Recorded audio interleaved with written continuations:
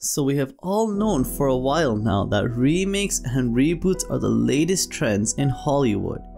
But this latest remake and reboot concept that I have heard of might just take the cherry for the worst idea I have ever heard of, and that is global television thinking it would be a good and profitable business venture to do a remake of Robin Hood and I would like to clarify that is Robyn Hood with the Y by the way because this new depiction of the character will be a black female rapper who will be fighting against the evil real estate tycoon John Prince in a modern day Nottingham.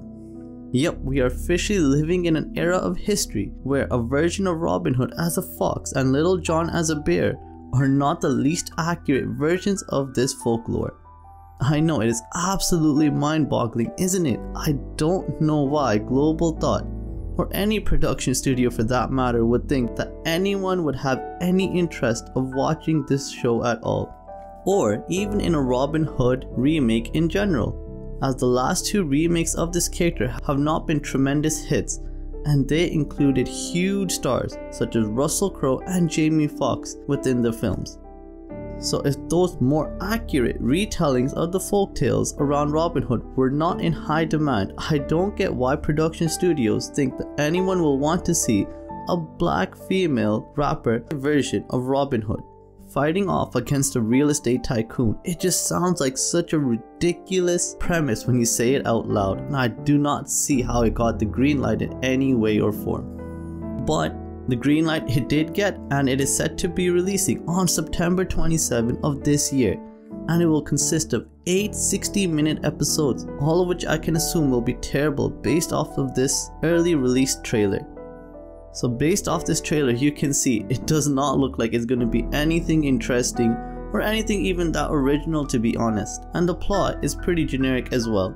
The premise is that in the fictional city of New Nottingham where Robin Hood lives the housing prices are really, really high, and Robin's working class community and family are concerned that the growing gap between the rich and the poor of the city is getting too large.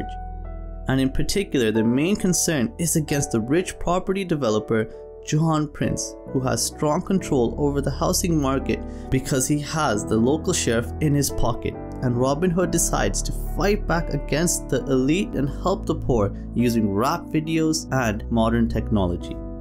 It's not the worst storyline I've ever heard, but it's definitely in the top 5, and it just seems to be forcing in the narrative of Robin Hood when there really isn't that much real connection between the two stories being told.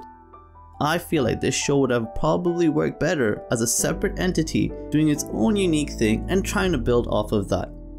But no, we need to go and destroy the legend of another figure from our history to somehow force him into our current political climate. It just makes no sense and it is going to be a huge failure for the production studio. I for one am not a fan of historical movies and historical TV shows doing remakes in general, and I would much rather explore other less recognized figures from our history such as Genghis Khan, Shaka Zulu or William the Conqueror and remakes of ancient and medieval historical figures or even fictional figures from folktales. Having their stories retold in a modern 21st century is not a thing that I think most viewers are interested in seeing. But that's just my opinion, so let me know in the comments below if you agree or disagree with my viewpoint. And remember, subscribe to History Spark to stay up to date with all things related to historical movies and historical TV shows. Thank you so much for watching. Bye.